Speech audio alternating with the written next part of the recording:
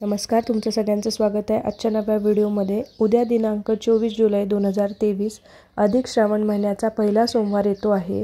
आणि या दिवशी जर महिलांनी काही घरात मंत्र बोलले तर त्याचा परिणाम तुमची घरी घरची परिस्थिती सुधारण्यावर होईल.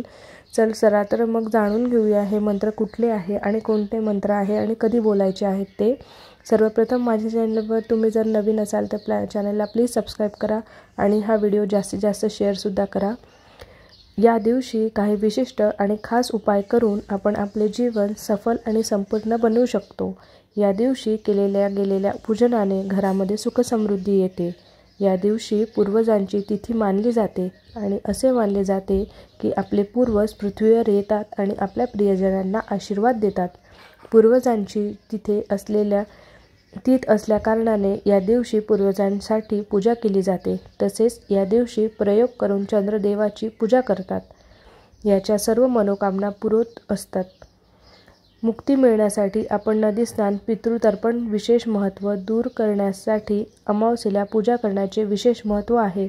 त्यामुळे आपल्या सर्व मनोकामना पूर्ण हो करण्यासाठी व आपल्या घरामध्ये या दिवशी करायचे काही खास उपाय आपण नक्कीच केले पाहिजेत. सकाळी संपूर्ण शरीराला पंचगव्य लावून गायत्री मंत्र किंवा महामंत्रुंजय मृत्युंजय मंत्र म्हणत आंघोळ करावी. तर नदीतीरावर अथवा तीर्थक्षेत्री पंचगव्य संपूर्ण अंगाला लावून स्नान केल्याचे अतिउत्तम असते. या दिवशी आपल्या परिवाराच्या आणि आपल्या सुरक्षेसाठी उजव्या हातामध्ये थोडी पिवळी मोहरी घेऊन अकरा वेळा कालभैराष्टक म्हणून ती पिवळी मोहरी अभिमांत्रिक करावी आणि पिवळी मोहरी घरामध्ये सर्वत्र टाकल्याने करणी भानामती किंवा नकारात्मक ऊर्जेचे संरक्षण होते. या दिवशी आपल्या घराच्या आवारात असणाऱ्या सर्व देवी देवतांचेच म्हणजेच ज्यांना आपण क्षेत्रपाल या नावाने ओळखतो किंवा इतर तुमचे इष्टदेव असते कुलदेव किंवा कुलदेवी असेल तर या देवांना हार ना ख नारळ आणि खडीसाखर ठेवून मानसन्मान करावा. तसेच घरामध्ये एखादी व्यक्ती आजारी असेल किंवा कुणाला नजरबाधा झाली असेल अशा व्यक्तींच्या तसेच आपल्या कुटुंबातील सर्व सदस्य व्यक्तींच्या नकारात्मक गोष्टींपासून संरक्षण या दिवशी एक नारळ घेऊन त्यावर शेंदूर आणि काजळ लावून त्यांची दृष्ट काढून घ्यायची आहे नजरबाधा काढून घ्यायची आहे आणि असे केल्याने घरातील सर्व सदस्यांना मुख्य दरवाजाच्या चौकटीवर उभं राहून उतारा करावा.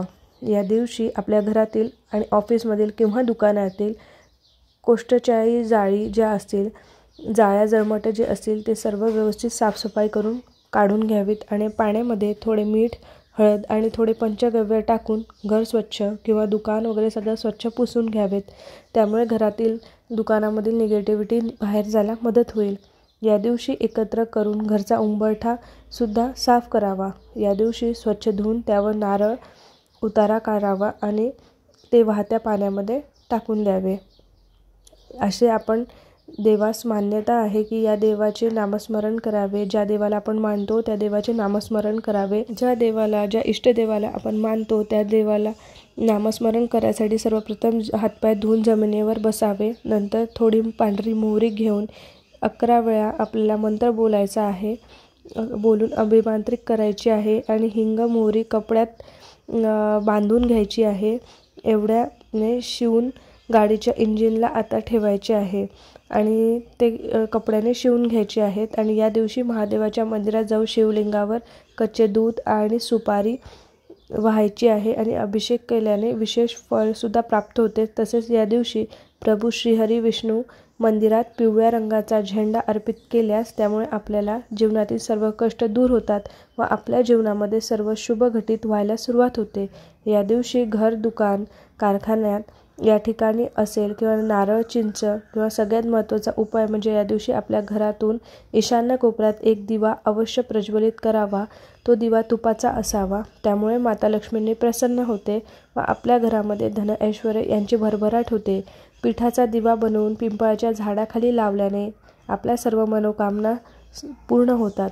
तसेच या दिवशी गाईला गूळ आणि हिरवा चारा अवश्य खायला द्यावा. विचार शास्त्राप्रमाणे ही सुख सर्वोच्च बरोबर धन आणि संपत्ती ऐश्वर वैभव इत्यादी सर्व गोष्टी प्राप्त करण्यासाठी विशेष मानले गेलेले आहे. या दिवशी आपणही हे उपाय करून आनंदी जीवनाचा लाभ घेऊ शकतो. धन्यवाद. श्री स्वामी समर्थ. जय जय स्वामी समर्थ.